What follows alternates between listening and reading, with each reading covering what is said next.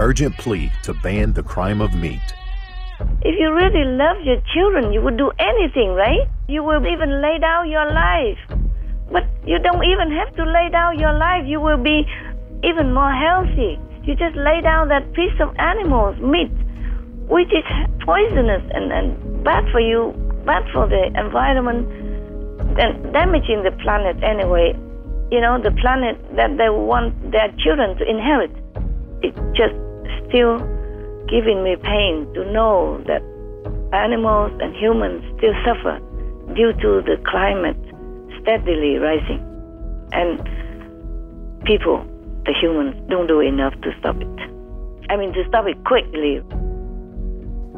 It's like some wound is bleeding, and the doctors who have the equipment and the knowledge to do it don't do it. It's oh, never mind.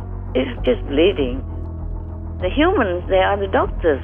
They have equipment, they have knowledge, they have the power to stop this bleeding wound, which is the running climate change. And I don't know why they don't do it. I really don't understand. I truly don't understand. I truly don't understand why even the governments they have so much power.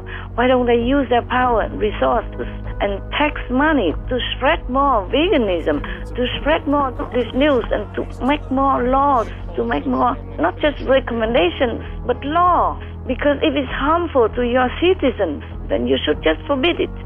If it's something harmful to somebody and you know it's harmful, then you forbid, no? Yes, Master. The leader is supposed to lead, and the people will listen. Yes. yes Master. Like if somebody committed a wrong, then, then they call them a criminal and put them in jail to protect the other innocent citizens. Meat is killing people. It's a crime. Why don't they just stop meat? Yes, Master. Yeah, put meat in jail and lock it forever. They should make it against the law to harm people. And so if, if the government already know meat is harmful, then classify it as a crime and stop meat forever, right? Just like stopping the criminal so they don't continue harming other people. So I don't understand this. I really don't understand. Watch or download the full conference, The Truth About Maya's Dark Force and Temptations, for free at SupremeMasterTV.com by searching Truth About Maya.